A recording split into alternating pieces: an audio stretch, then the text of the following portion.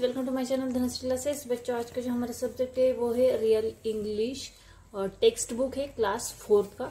और इसका जो चैप्टर नंबर एट जो कि पोयम है ड्रीम्स ये पोयम के ऊपर के आज जो क्वेश्चन आंसर है, वो आज हम यहाँ पर सॉल्व करेंगे। तो आइए स्टार्ट करते हैं।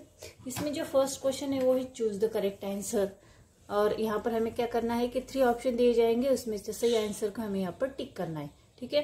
तो इसमें फ़र्स्ट है what is beyond the mountain line तो हमारा आंसर यहाँ पर है द फेरी लैंड सेकेंड है डेडेश लुक लाइक गैसेस हमारा आंसर है स्ट्रीम्स थर्ड है the golden castles are dash dash तो हमारा सही आंसर है इन द ईयर ठीक है? इसके बाद नेक्स्ट यहाँ पर है read the poem carefully match uh, the words in column A with adjectives in column B without referring back to the poem.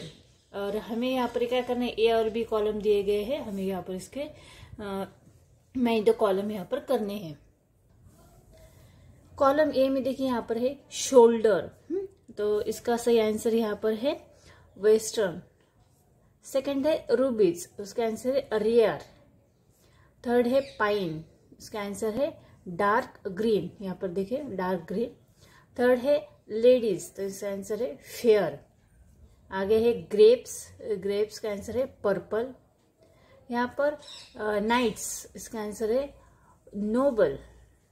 और लास्ट है यहाँ पर कैस्टल, इसका आंसर है गोल्डन। तो हम यहाँ पर गोल्डन। इस तरह से जोड़िया लगाएँगे या फिर आप आप ज्वाइन भी कर सकते हैं या फिर इसका आंसर है इस तरह से लिख भी सकते हैं। ठीक है?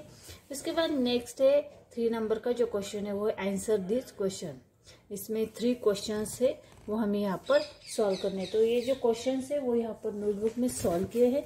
तो देखिए, इसमें फ़र्स्ट क्वेश्चन है name three things that are between the poet and the fairy land और इसका आंसर ये देखिए यहाँ पर।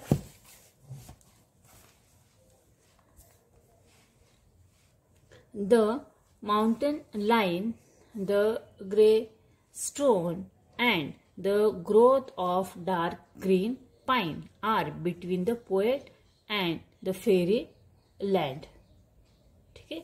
नेक्स्ट जो क्वेश्चन है, देखिए यहाँ पर what are compare to rubies और उसका आंसर है, ठीक है सेकंड का what are compare to rubies the fruits in the fairy land are compare to rubies उसके बाद नेक्स्ट थर्ड क्वेश्चन है, देखें।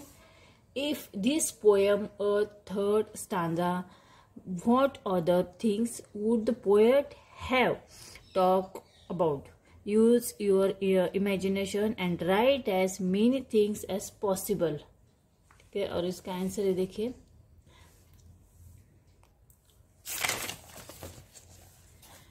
He will imagine about night with twinkle stars in the sky like a diamond ठीक है?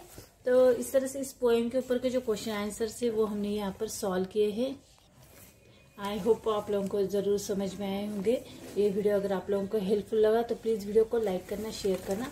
और अगर आप channel पे नए हैं तो इसे सब्सक्राइब करना। और आप हाँ बेल आइकन ज़रूर प्रेस करना, ताकि मेरे जो नए नए वीडियोज़ आते हैं, उसकी नोटिफिकेशन सबसे पहले आपको मिल जाएगी ठीक है? वीडियो देखने के लिए धन्यवाद।